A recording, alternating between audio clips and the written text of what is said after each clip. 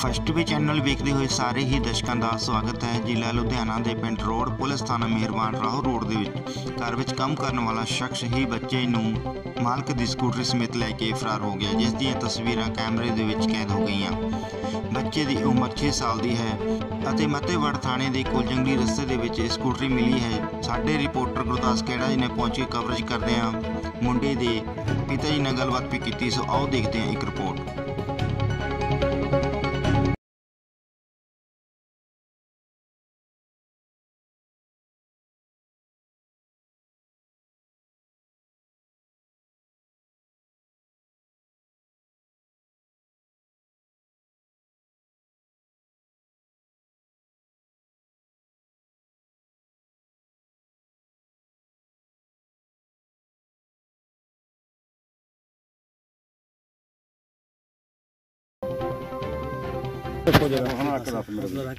ਦੱਸੋ ਆਪਾਂ ਨੂੰ ਕੀ ਹੋਇਆ? ਰਾਤੀ ਉਹਨਾਂ ਸਕੂਟਰੀ ਮੰਗੀ ਸੀ ਕੱਲ 5:30 ਵਜੇ। ਕਿਹਨੇ ਮੰਗੀ ਸੀਗੀ ਜੀ? ਭਈਆ ਰੱਖਿਆ ਸੀ ਸਾਂਝੀ ਇੱਕ ਜੀ। ਅੱਛਾ ਜੀ ਕੀ ਕਿ 18 ਤਰੀਕ ਨੂੰ ਆਇਆ ਸੀ 19 ਤਰੀਕ ਨੂੰ ਕੰਮ ਸ਼ੁਰੂ ਕੀਤਾ ਸੀ ਪੱਠੇ ਪੁੱਠੇ ਪਾਉਣ ਲੱਗਿਆ ਹੈਗਾ ਜੀ। ਅੱਛਾ ਜੀ।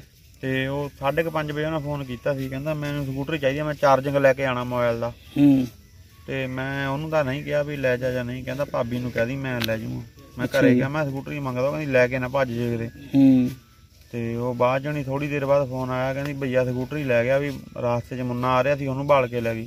ਅੱਛਾ ਜੀ। ਹਾਂ ਅਮਨਦੀਪ ਸਿੰਘ ਆ ਰਿਹਾ ਸੀ ਰਾਸਤੇ 'ਚ ਉਹਨੂੰ ਭਾਲ ਕੇ ਲੈ ਗਿਆ। ਮੁੰਡੇ ਦੀ ਉਮਰ ਕਿੰਨੀ ਕੁ ਹੈਗੀ ਛੋਟੇ ਬੱਚੇ ਦੀ? ਉਹਦੀ 6 ਸਾਲ ਉਮਰ ਆ ਜੀ।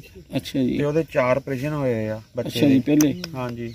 ਠੀਕ ਹੈ ਜੀ। ਤੇ ਉਹਦਾ ਹਾਲੇ ਇਲਾਜ ਵੀ ਚੱਲਦਾ ਵਾ ਸੀਐਮਸੀ ਹਸਪੀਟਲ ਤੇ ਉਹਨੂੰ ਲੈਟਰਿੰਗ ਦੀ ਪ੍ਰੋਬਲਮ ਸੀਗੀ। ਲੈਟਰਿੰਗ ਦੀ ਉਹਦੇ ਆਪਰੇਸ਼ਨ ਹੋਏ ਆ। ਉਹਦੀ ਜਾਣੀ ਕਿ 24 ਘੰਟੇ ਕੱਚੀ ਲੈਟਰਿੰਗ ਨਾਲ ਲਿਬੜੀ ਰਹਿੰਦੀ ਸੀ ਭਾਵੇਂ ਸਵੇਰ ਤੋਂ ਲੈ ਕੇ ਸ਼ਾਮ ਤੱਕ ਧੋਈ ਜਾਈਏ ਉਹ ਅੱਧੀ ਰਹਿਣਾ ਜਾਣੀ ਕਿ ਕਹਿੰਦਾ ਮਨ ਉਹਦਾ ਇਲਾਜ ਚੱਲਦਾ ਸੀਗਾ। ਠੀਕ ਹੈ ਜੀ। ਡਾਕਟਰ ਧਰੂ ਨਾਲ ਉਹਦਾ ਇਲਾਜ ਕੀਤਾ ਸੀਗਾ ਜੀ। ਠੀਕ ਹੈ ਜੀ। ਹਾਂਜੀ। ਤੇ ਮਤਲਬ ਕਿ ਹੁਣ ਤੁਹਾਨੂੰ ਇੱਥੇ ਕਿਸ ਤਰ੍ਹਾਂ ਪਤਾ ਲੱਗਿਆ ਸੀ ਵੀ ਇੱਥੇ ਜਿਹੜੀ ਐਕਟਿਵਾ ਆਪਾਂ ਨੂੰ ਇੱਥੋਂ ਮਿਲੀ ਆ ਉਹਦੇ ਬਾਰੇ ਕਿੱਦਾਂ ਪਤਾ ਲੱਗਿਆ? ਅਸੀਂ ਜਿਵੇਂ ਉਹ ਕੈਮਰਿਆਂ ਦੇ ਵਿੱਚ ਹੀ ਦੇਖਿਆ ਸੀਗਾ ਉੱਥੇ ਮੰਗਲੀ ਤੇ ਸਾਡੇ ਚੌਂਕ 'ਚ ਵੀ। ਇੱਧਰ ਨੂੰ ਆਇਆ ਵਾ।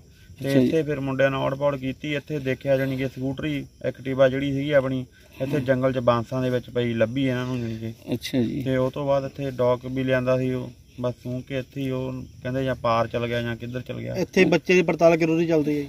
ਇੱਥੇ ਬੱਚੇ ਦੀ ਪੜਤਾਲ ਹਲੇ ਕੋਈ ਪਤਾ ਨਹੀਂ ਲੱਗਿਆ ਜੀ ਰਾਤ ਦਾ ਕੱਲ 5:30 ਨਹੀਂ, ਲੱਭਦੇ ਕਦੋਂ ਰਹੇ ਆ? ਮਤਲਬ ਕਿ ਕੱਲ ਦੇ ਲੱਭ ਰਹੇ ਆ? ਕੱਲ 7 ਵਜੇ 7 ਵਜੇ ਤੇ ਕਿੰਨੇ ਕਿੰਨੇ ਕੁ ਜਣੇ ਇੱਥੇ ਲੱਭਣ ਦੇ ਲੱਗੇ ਹੋਏ ਤੁਹਾਡੇ ਨਾਲ? ਇੱਥੇ ਜੀ ਘੱਟ ਵੀ ਹੈ 150 ਬੰਦਾ ਹੋਣਾ ਜੀ। ਬੰਦੀ ਹੋਣਾ ਜੀ। ਰਾਤੀ ਰਾਤੀ 150 ਬੰਦਾ ਹੋਊਗਾ। ਤੇ ਪੁਲ ਪੁਲ ਪ੍ਰਸ਼ਾਸਨ ਤੁਹਾਡਾ ਸਾਥ ਦੇ ਰਹੀ ਪੂਰਾ? ਹਾਂਜੀ ਹਾਂਜੀ ਹਾਂਜੀ। ਤੇ ਹੁਣ ਕੋਈ ਬੱਚੇ ਦੀ ਕੋਈ ਇੰਡੀਮੇਸ਼ਨ ਸਾਹਮਣੇ ਆ ਰਹੀ ਕੋਈ ਨਿਕਲ ਕੇ? ਹਲੇ ਕੋਈ ਪਤਾ ਨਹੀਂ ਜਿਹੜੀ ਲੱਗ ਰਿਹਾ ਟ੍ਰੇਸਿੰਗ ਲੋਕੇਸ਼ਨ ਬਾਰੇ ਗੱਲ ਚੱਲਦੀ ਸੀ ਪਤਾ ਲੱਗਿਆ ਸੀ ਵੀ ਇੱਥੋਂ ਦੀ ਨਹੀਂ ਲੋਕੇਸ਼ਨ ਹਲੇ ਕੋਈ ਪਤਾ ਨਹੀਂ ਲੱਗ ਰਿਹਾ ਜੀ। ਦੇ ਬਾਰੇ ਕਿਹਾ ਕਿਹਾ ਜਾ ਰਿਹਾ ਸੀ ਵੀ ਲੋਕੇਸ਼ਨ ਇੱਥੇ ਦੀ ਹੈਗੀ ਆ। ਕਹਿ ਰਹੇ ਆ ਜੀ ਪਤਾ ਨਹੀਂ ਲੱਗ ਰਿਹਾ। ਆਪਾਂ ਨੂੰ ਤਾਂ ਉਹਦੀ ਮੰਨਾਂਗੇ ਜੇ ਪਤਾ ਲੱਗੂਗਾ ਵੀ ਹਾਂ ਬੱਚਾ ਠੀਕ ਆ ਜੀ ਫੜ ਲਿਆ ਜਾਂ ਕਿੱਦਾਂ ਵਾ। ਤੇ ਕੋਈ ਬਈਏ ਨਾਲ ਤੁਹਾਡਾ ਕੋਈ ਝਗੜਾ ਝਗੜਾ ਵੀ ਹੋਇਆ ਕੋਈ ਗੱਲਬਾਤ ਨਹੀਂ ਹੋਈ। ਹਲੇ ਜਾਣੀ ਕਿ 9-10 ਦਿਨ ਤਾਂ 18 ਤਰੀਕ ਨੂੰ ਤਾਂ ਆਇਆ ਜੀ 19 ਤਰੀਕ ਨੂੰ ਉਹਨਾਂ ਕੰਮ ਸ਼ੁਰੂ ਕੀਤਾ। ਤੁਸੀਂ ਉਹਨਾਂ ਕੋਈ ਆਈਡੀ ਪ੍ਰੂਫ ਰੱਖਿਆ ਹੀ ਘਰੇ ਉਹਨਾਂ ਕੋਲ ਲੈ ਕੁਝ ਕੇ ਨਹੀਂ ਆਧਾਰ ਕਾਰਡ ਵਗੈਰਾ? ਲੱਗਿਆ ਸੀ ਉਹ ਜਿਵੇਂ ਦੱਸਦਾ ਸੀਗਾ ਮੈਂ ਫਲਾਣੇ ਨਾਲ ਲੱਗਾ ਰਿਹਾ ਟਮਕਾਨੇ ਨਾਲ ਲੱਗਾ ਰਿਹਾ ਉਹ ਏਦਾਂ ਵਿਸ਼ਵਾਸ ਕਰ ਗਏ। ਵੀ ਮੈਂ ਵੀ ਘਰੇ ਸੀ ਮੈਂ ਵੀ ਕੰਮ ਤੇ ਨਹੀਂ ਜਾਂਦਾ ਸੀ 10 ਦਿਨ ਘਰੇ ਹੀ ਰਿਹਾ ਮੈਂ। ਤੇ ਕੱਲੇ ਗਿਆ ਸੀ ਕੱਲ ਉਸ ਤੋਂ ਬਾਅਦ ਜਦ ਮੈਨੂੰ ਫੋਨ ਚਲ ਗਿਆ ਬਾਹਰ ਸੀਗਾ ਮੈਂ, ਤੇ ਜਦ ਪਤਾ ਲੱਗਾ ਕਹਿੰਦੇ ਉਹ ਭਈਆ ਲੈ ਕੇ ਭੱਜ ਗਿਆ। ਕੁੜੀਆਂ ਮੈਂ ਦੋ ਘਰ ਦੇ ਹੈਂਡੀਕੈਪਟ ਆ, ਮੈਂ ਵੀ ਹੈਂਡੀਕੈਪਟ ਆ।